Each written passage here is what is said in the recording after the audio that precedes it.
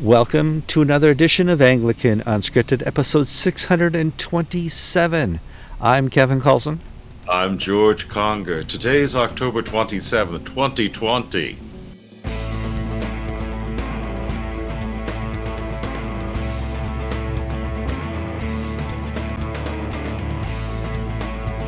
All right, people. You're going to want to know where I am. I'm in the same state that George is in. No, not metaphorically. I'm in Florida.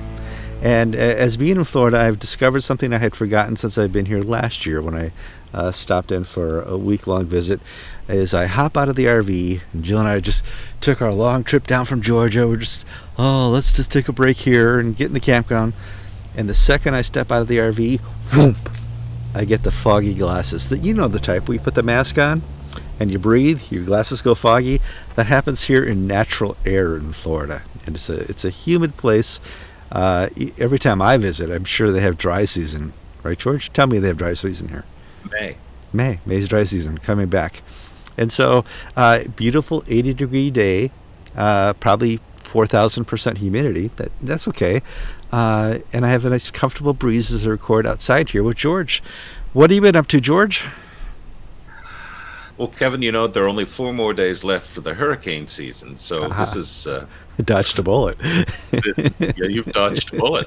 Uh, there's one right now in uh, Cozumel in um, in uh, Mexico, but uh, hmm. uh, we've uh, we've had our second week of in-person services, and Oh, I was hoping that, boom, everybody else would come back who didn't come the first week. No. Uh, it's gradual.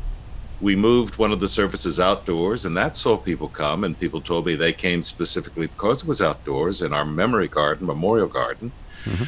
Um, but this is going to be a long haul uh, to return the church to a state of normalcy. And we've been in touch with people it's not like we don't know where they are. I know where they are, and they're at home, uh, watching the feed. they're not going elsewhere, and they're not not going. They're just not ready to return to in-person worship in our community. Yeah, in the numbers that I was hoping for. Sure. And people think it's, you know, hey, we're drawing back into church, it's getting more and more comfortable. I'm watching my church service live on Facebook at, at 10 a.m. and the music team is gone because one of them had been exposed or maybe had been exposed to somebody else who had uh, COVID the day before, two days earlier, and they said we're not going to have uh, music. We're not going to. We're going to sing a cappella, which worked fine. Uh, there's we we are not secure enough to return to full time worship uh, at the the way we want to. I think that's the the effect COVID is still having on us. Um, before we get too far, guys, I need you to like the episode. I want you to share the episode. George, we got the best commenters out there. Very kind. You got okay. Uh, last week, some of you were kind of critical of Gavin. Cut that out. That's not how, what we do on Anglican Unscripted.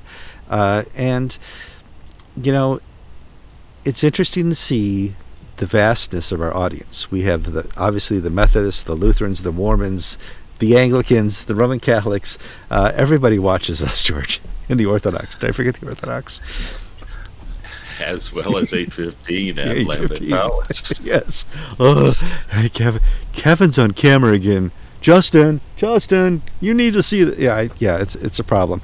Um, but we you, did. I did. I did have some uh, wonderful news for me personally this week. In the Episcopal Church, your salary as a rector is based on your attendance uh, plus longevity. So the older I get, the more I get paid, even if I get worse and worse. Mm-hmm. But there, there's we have these grids. It's like the army, uh, in attendance and salary grade and all this and that. And basically, it's a combination of your attendance as based on your average Sunday attendance and your time in office.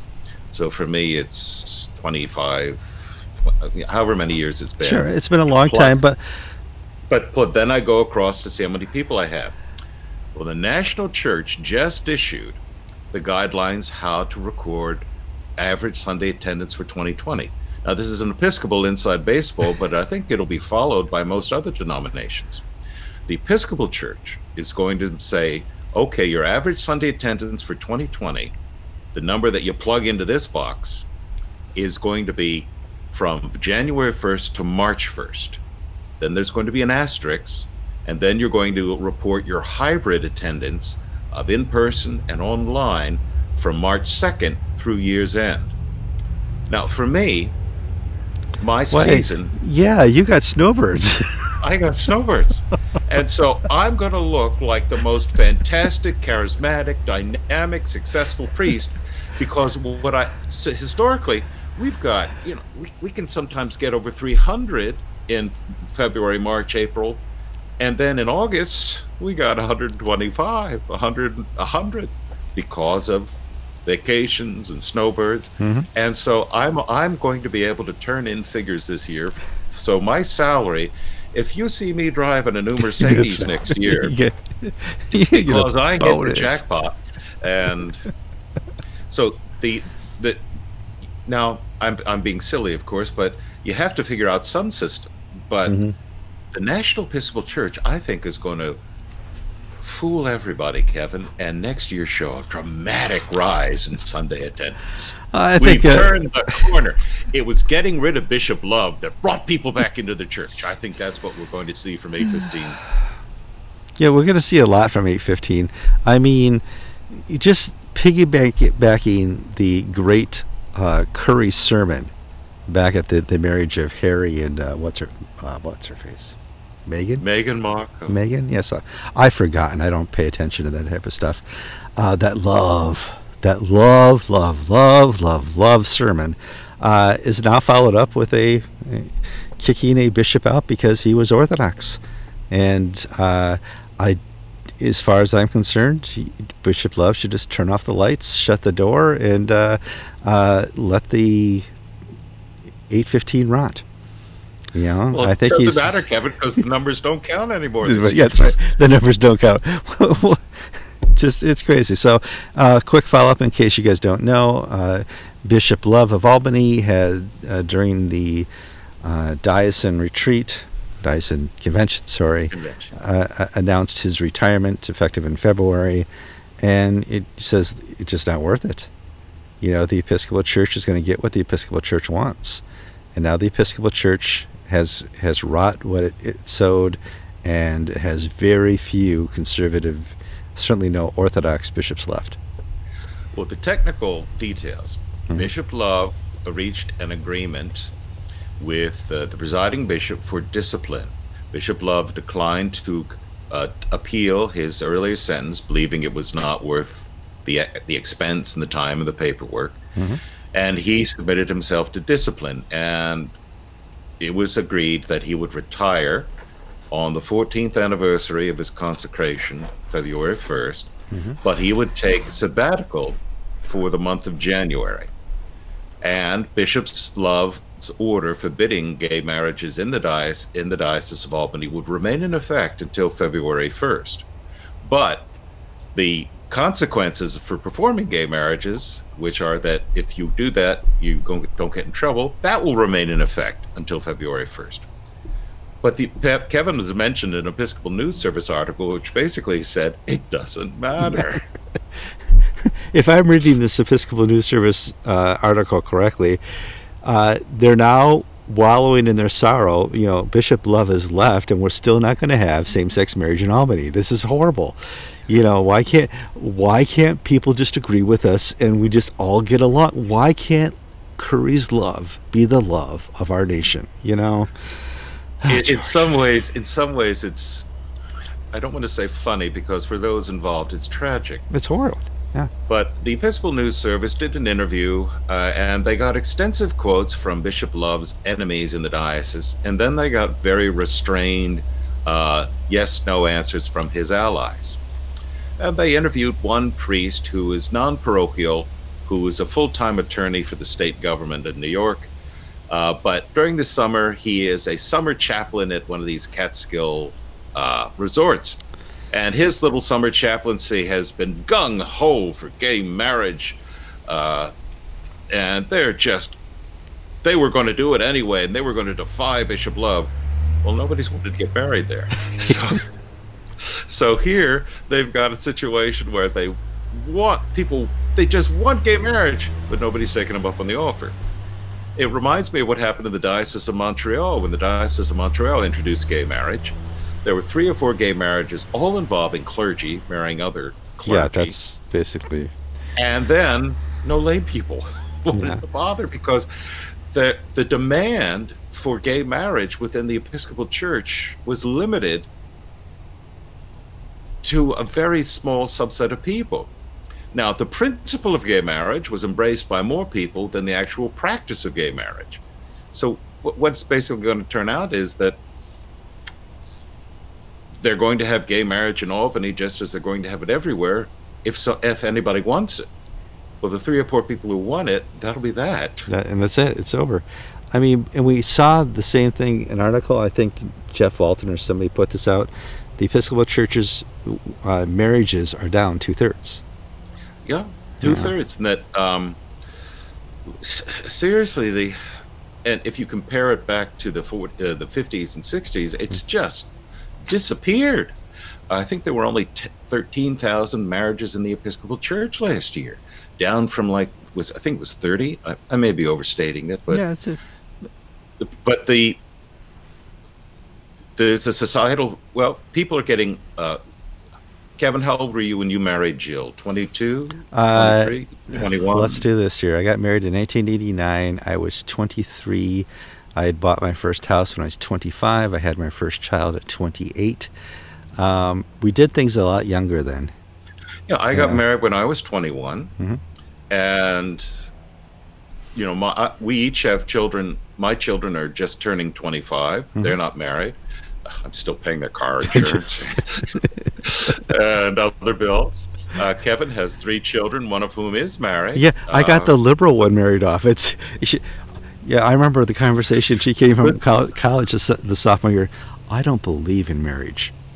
Oh no, this one's never gonna. Yeah, she's married.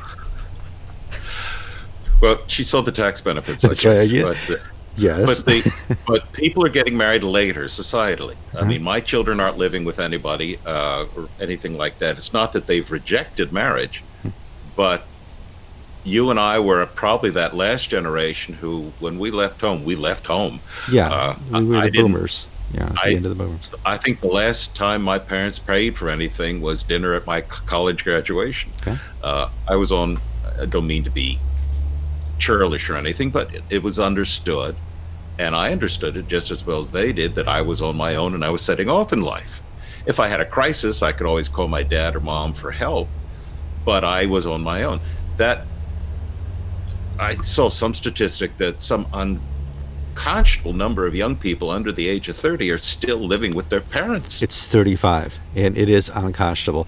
It's a whole different age. Like you said, I remember leaving for college, and I had never moved back. I, I, I funded college on my own. Mom and dad didn't have the money at the time uh, to pay for college, and it, it. Of course, I dropped out of college. That's a different story. Um, it, But- we, but we were different you, you mindsets. tie that Yeah. into the absence of people of the marrying age in the Episcopal Church, Mhm. and you have this fiasco of uh, no marriages. yeah. That's don't- society doesn't respect marriage like it used to. I mean, I'm I've well, I've got a marriage planned of uh, two 19 year olds. That's right. He's a, he's a corporal in the army on Mhm. uh, active duty at the DMZ in Korea, and when they get home in he gets home in June, they're going to get married. Uh, but most of the other marriages I do are second marriages or people in their 70s or 80s because Mhm. that's the culture and the community where I live. But young people aren't marrying, and I don't think same-sex couples have the same. Uh, the Episcopal Church has, has bought into a fantasy that people are just waiting for them to do the right thing. I remember Steve Charlton, who was the, at the time the Assistant Bishop of California during the Gene Robinson debate, said, Once we con- consecrate Gene Robinson as bishop, our numbers are going to go through the roof because people be, want to be part of a church that is modern and alive and doing what people think we should be doing. Well, after 2003, that's when the bottom fell out. Well, after America, you know, endorsed at the Supreme Court level same-sex unions, uh, and same-sex marriages. It was, you know, we have redefined marriage that doesn't mean anything anymore. If anybody can get married, what's the point? And that's what we've seen. Uh, we have not seen a race from same-sex couples to get married. Uh, yes, uh, what's the statistic? Three percent of uh, the population uh, suffers from same-sex attraction. Of the of the three percent, two percent of the three percent, two percent have gone off and uh, gotten married. That's an amazingly low statistic. that well, here's the it's Kevin. Kevin, you you had a. Con- I'm stealing all your best That's, lines, no, no, Kevin. no. So That's what the pre-show is for. Okay. this 2020 is a very strange year. Surreal. I uh, we've Yeah. been following the comments about the Bishop Love affair, and within the Anglican, there are two Anglican responses. There's the sort of the Anglican officialdom, Diocese of Down and Dromore, which has been uh, Albany's partner diocese. The bishops there have been very close to Bishop Love. Put out a statement of prayer and regret. Are they going to do anything? No. Prayer and regret. GAFCON Secretariat, which I don't know who that is. Uh, there's no name attached to it. It's not Yeah. Ben It wasn't, it wasn't the signed. primates Yeah. uh, has basically put out a, a tut tut prayer and Mhm. regret. Yeah. Compare this to the Akinola days, where you know we're going to be coming and uh, uh, with torches and our veins bulging in our necks, and you better beware. Uh, we don't see that. But then in the commentaries, people are noting, and especially in the Catholic traditional commentariat, that this week has shown that the Bishop of Albany is more Catholic than Pope Francis. Because the week that Pope Francis tosses overboard Catholic doctrine on family and, hum- and the body and human sexuality and and just goes against everything his predecessors, especially uh, Pope Benedict and Pope John Paul II, have said, we've got an Anglican bishop who is basically taking the bullet and standing up for traditional Orthodox Catholic teaching. Well, I mean, Pope Francis is exactly what we're talking about. That redefinition. He has accepted the redefinition that same-sex people can be families. That if you are a same-sex couple and you get married, you or have a civil union, you are that family, and that's what uh, you know. All these liberals have been fighting for, and but you got it. Let's see what happens to your church now. You know, you, you got what you wanted. It and the the, the press, the the church press, is filled from one end of the world to the other with Catholic bishops trying to interpret and explain what Francis is saying. Sure. and they're having a really hard time of it. There are some, like James Martin, the American Jesuit, who uh, who is one of the most notable, at least in social media, activists for full inclusion of gays and lesbians in the church, has just said, "Isn't this wonderful?" And then you have Franklin Graham going on social media saying Pope Francis is normalizing homosexual behavior. He is acting in an unchristian manner. Now, Franklin Graham, for those in who those of a, of a different political persuasion, they may dislike him to begin with. But Franklin Graham has been one of these people who's worked very hard to bring evangelicals and Roman Catholics, at least, together on moral and social issues like same-sex marriage, like abortion, like uh, so on, all those uh, issues where there's a commonality of purpose. And Franklin Graham is torn into the Pope, and you have Cardinal Burke, uh, who's uh, we posted his statement basically saying, "Well, this may be Francis's opinion, but hey, it doesn't matter."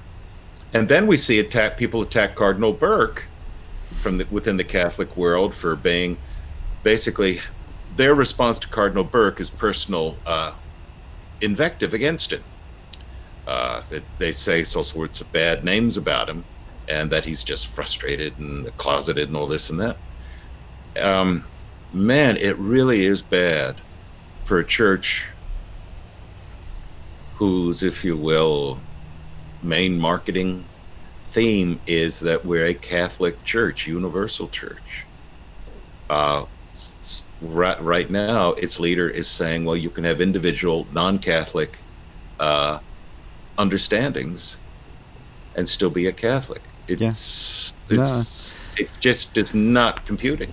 When I wake up and think about how bad the Episcopal Church is, I'm quickly reminded that well, the Roman Catholics are uh, at times equally as bad, uh, or headed that way anyway. For sure, They're, the trajectory of the Roman Catholic Church uh, does not look good because the Pope Francis, who has all these weird personal opinions, is now appointing cardinals left and right. He's he's filling the, the rackets up. Uh, he's stacking his court uh, for his his journey and agenda. So, yeah, and the American hierarchy in the Catholic Church is not covering itself with glory. Uh, you know, especially we still have the McCarrick School still in charge. He may be gone, but his allies are running the show. And they're pushing pushing this agenda.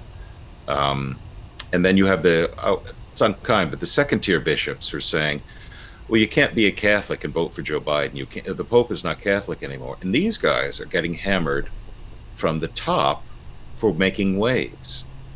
So it's if I were if I were a traditionally minded Roman Catholic, I would be really discouraged right now to see where things are headed because you have the example of the Episcopal Church's fall from grace to in front of you to see, and every single step the Catholic Church is taking has been is being what's taken by the Episcopal Church in its uh, collapse. Yeah, easily. Uh, quick update uh, for those and here, this is how it works. Last night, uh, there was a new appointment of a Supreme Court justice. Uh, the the court is now conservative, six to three. Uh, first time that, certainly in my lifetime, uh, that this has happened. If you had believed everything you read in the press, you would have woken up today and there would be no abortion in this land. It would have been against the law. And that's not how this works um, just the the frothiness now in politics, George, is just. I you know I read the Douglas Lincoln debates. I you know it was not good back then, but I I've never seen more polarization, and I think obviously social media is to blame. Uh, the liberals have taken over the, the public education, so we have all these little social justice warriors walking around thinking they know everything. Um, this is just not a great time for society. Yes, it's redeemable, please, but it's just not a great time uh, for society. And now we're coming up in a, a mere week on the election Trump versus Biden. Uh, well, now, I, hold on. You always mention, Kevin, when you drive through the countryside here, it's all Trump. Florida is going Trump. I'm, I'm telling you this. And I went for my little itty bitty bike ride yesterday out here on Gray's Airport Road. And it's kind of horse meadows and farms and stuff like that. There are no Trump banners, George. There's Trump flags, Trump this, Trump that. People have hand painted signs on their fences, hand painted on the side of the garage, Trump 2020. Yes, the farmers in Florida are going Trump 100%. But the cities are full of liberals. Well, they actually are transplants. And, uh, they're right. snowbirds. so they still vote in Connecticut. Uh, I hope so. Oh. Well, that's one of the things in Florida. People, you know, uh, these people move here from uh, California, New York, Connecticut, Illinois, and because there are no taxes here, there's no income tax in Florida, uh, the in, the inheritance tax, the bankruptcy laws are all very uh, loose compared to those of up northern states. We don't say this. we say, we, we, say consumer friendly. Consumer friendly, right. and the cost of living is much lower. Yeah. And then these people move down here, and they move down here for the fiscal advantages, but then they want to recreate the political nightmare left, yes. that they uh, uh, left. Now you have to remember, Kevin, I am in that uh, farmland. I'm not in the city, so my vision is skewed. Sure, but I will. I'm fairly confident that Donald Trump will carry Florida. Whether he carries the country, I don't know. but the enthusiasm. Uh, we've had uh, we've had Trump rallies around here, and we had Donald Trump go to a, come to Ocala, which is the big city near us, and I had, uh, I had parishioners wait eight, ten hours in lines, and to be able to go see him at the airport, at, on the tarmac of the Ocala airport. Um, I don't see that level of enthusiasm among the Biden supporters here. It, they're more like, well, we were Democrats in New York, and so we're still Democrats out of loyalty, but we're for the Democrats. We're not really for Joe Biden. So I, th- this Well- is armchair politicking. I, I Well, no, have no knowledge. we real- don't. But we, we kind of mentioned it when it was Hillary Trump, and we're coming up in the polls. The polls showed that Hillary was going to win, not in a landslide, but boy, she was going to pick up Madison, Minnesota, Michigan, Pennsylvania, Ohio, Indiana, Iowa, and the great state of Florida. And in the end, she missed some key states, not because there was more enthusiasm for Trump, but because the pollsters did not understand what, what's called the silent Trump vote. You the, the numbers that get me the most are, and it's from the Rasmussen polling agency, and they did a good job last time around, better than anybody else, I think. Mhm. And the numbers that get me is that Donald Trump has a 46% approval rating among African Americans. Hmm. And if you just do African American males, he has a 60%, n- some 60% number 63, yeah. approval among African Americans. 60 plus percent approval among African American males of the Republican. Doesn't mean they're going to vote for him. They haven't Uh-huh. voted yet. But the usual rate is 10%, 12%. And he and Donald Trump did the best of any Republican since I, I, I think uh, Abraham Lincoln among the African American vote. And now he has got back then, but it's okay. but now he's got majority approval. Yeah. Again, that's approval. It's Mm. not voting. Yeah. He also has a majority approval among Hispanic males. So these are the twin pillars of the Democratic vote in many parts of the country. Because we don't have an urban educated elite here. Like, yes, in Gainesville and Miami and some of the big cities. We Miami, Jacksonville, yeah. So, but it's not we're not connecticut where it's suburbia uh, the gold coast along the uh, along the connecticut turnpike well, uh, Connecticut is always solidly Democrat. They they often put in a, a Republican governor Who goes to jail. Who goes to jail? who's who's that's a when when you're a Republican governor in Connecticut, that's your next step before federal prison. And so it just they uh, and they must do it to embarrass us. They just uh, they find the, the the person who should not be the Republican, Republican governor. And oh dear, my wife is drinking my coffee. You guys, you haven't seen me drinking out of the mug because I left it inside the RV. Thank you, Jill. What- Happy birthday, Joe. if i if i may say that um, we do have uh, democrats in my congregation because we're all transplants Sure. we have a number of older people who have been democrats all their lives and you know they proudly voted for john f kennedy and and uh, adlai stevenson the first time and so on and so forth and they'll they'll vote for joe biden Mhm.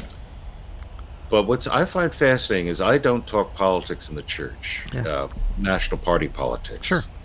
I talk hell and sin and damnation and you know get right with God. I, I- I, Spiritual don't talk politics, About, yes. I don't tout Americans uh, the, the Affordable Care Act. I don't talk Sure. about that stuff. There's there's plenty to keep me busy. People have such a I've heard it described as a news silo. They only know what their TV show tells them. Sure. So we have people who've never heard that there's a Joe Hunter Biden problem. No. Never heard of it. And these are educated adults. Sure. But because they only watch CNN or MSNBC, they have this worldview. Now, then we have people who watch the Hannity show, which I don't want to, is pretty over the top at Yeah, times. over the top, yeah. And they have this worldview that, you know, I don't, he, you know, whoa, where's this coming from? Um, but so the we have we as a nation have been failed by the media who have not presented all sides of the story. Now, again, Hannity is an opinion show. It's his right to offer an opinion, as, just as Rachel Maddow was well, opinion. hold on. Sean Hannity is also an entertainer. He, Yes. he's there to draw the biggest audience he can. Rachel Maddow also is audience based. Uh, she knows if she draws in the the f- I'm gonna just I, this, it's not my term. The foaming liberals will will watch her and watch her, and uh, she'll keep feeding the same story over and over again. That bring they're doing that for their paycheck. Um, Hannity believes 95% of what he says. Rachel Maddow believes 95% of what she says. Uh, the other 5% is just to get that rating, you know, just just to bring that that extra rating in. But the the, the the the newspapers, the press. I mean, we need to divide out the opinion people. That's their job. Sure, we But are opinion it's all, people. it- it's but it's the news media, uh, the, the the reporters, who are hiding stories from the press, so that when we do, let's say we do have a Trump blowout, relatively speaking, not a McGovern. Uh, Nixon level blowout, but or a Mondale Reagan, Reagan, blowout. that's the that's the standard. Yeah, not that level, but let's just say we have another solid, unambiguous win the way we did last time. Mhm. There are going to be many people in this country who are, it's like, it has to be fraud because everything I've heard, Yeah. everything I've seen, all my friends, the things I read in TV tells me it's not going to happen. And But- it happens. You're saying TV. I think the biggest uh, feeder of news for people nowadays are the Facebooks and the Twitters. I never saw this story about Hunter Biden in my Facebook feed. None of my friends posted it. None of my liberal friends ever linked to this or mentioned it. I never saw it in my MS, you know, all that. And there's a documentary on Netflix right now that I want everybody to watch before they vote. It's called The Social Dilemma, Our Social Dilemma. Um, it is a fair documentary about the effects of artificial intelligence and the Facebooks and the just that that hive mindset we have as Democrats and Republicans in this two-party country and how elections are affected and how our opinion is affected by what we see on screen. Um, if you look at my Facebook feed, I probably have 60% Republican, 40% Democrat uh, in friends.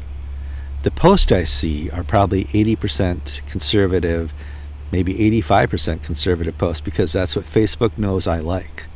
Even though uh, I have many, many Democrat friends who post all the time, it just doesn't, feed that to me right away because it knows Kevin is a Reagan Demo- uh, Reagan Republican and doesn't want to see uh, Aunt uh, Louisa's uh, thoughts on uh, pollution.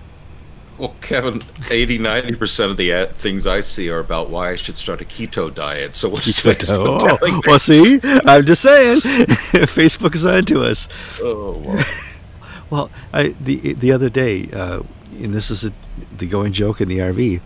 Uh, I've lost a little weight. Right here in the neck, you can see. Okay, so I was saying to Jill, I need a new belt. She goes, "All right, we'll go to Walmart and get you a new belt." Not by the end of the evening, we're doing a search on Google, and what pops up? Belt ads. What been are, what are the chances a belt ad is going to come up the same day we talk about my weight loss? So, you know, the they say they're listening. They're listening. You know, what do they hear? It's got. ugh, Mr. Kallsen has an excessive gas today. You know, which now we won't go into that, but let you guys know if you're thinking about RVing, please know that all smells are enhanced, including the kitty litter in an RV. There, that's my that's my PSA for you guys out there. George, any other news? We've gone long today, but I thought we could uh, we could get it in. Uh, you have to run into the next room for a church meeting at 11. That's three minutes away. Uh, let, let's close out the program. Again, guys, please uh, help us on social media. If you see us on YouTube or Facebook, like the program. Send this to your friends as a URL so they can see the program. Uh, in a, a few short days, there's going to be an election, and this is a great time not to have angst, not to be anxious, but to pray for our country. You know, God has us here for a reason, and it's uh, a unique situation that we live in a country that allows for democracy, and we, we shall see what happens. I always, and here I'm a hypocrite, get anxious in November every four years, George. It's it's my nature. That's because I love my country. I'm Kevin Kallsen.